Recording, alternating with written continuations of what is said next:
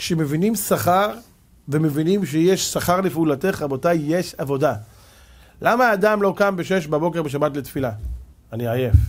ביום ראשון אתה קם בחמש בבוקר לעבודה. בטח. אתה מאחר? השתגעת? איך אתה לא עייף? מה זה עייף? השתגעת? מה זה עייף? עבודה? מה אתה משוגע? עבודה זה לא משחק. והקדוש ברוך הוא זה משחק? של מי? שלך? שלי? שלנו? של מי? למה לא קמת? יא אח שלי. מה עם ספר תורה? מה עם זה?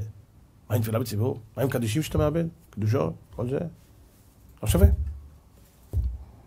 איפה זה? מה עם קריאת שמע שעוברת? פסדת מצוות עשה מדאורייתא? לישון.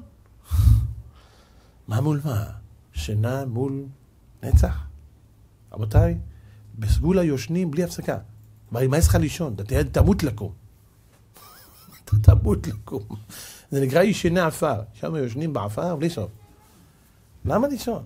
שינה יש לה את הזמן שלה. לא יברא ליל יהיה אלא לשינתא, אומרת הגמרא. הלילה נברא לשינה. אוקיי. ולא יברא ליל יהיה אלא לגירסא גם, גם ללמוד.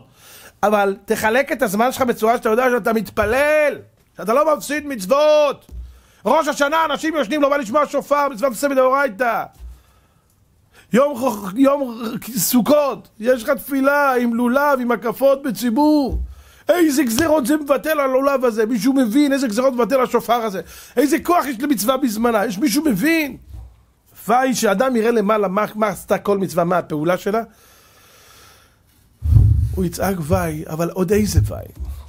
הוא יקרא אך בשרו עליו יכאב ונפשו עליו תאבל.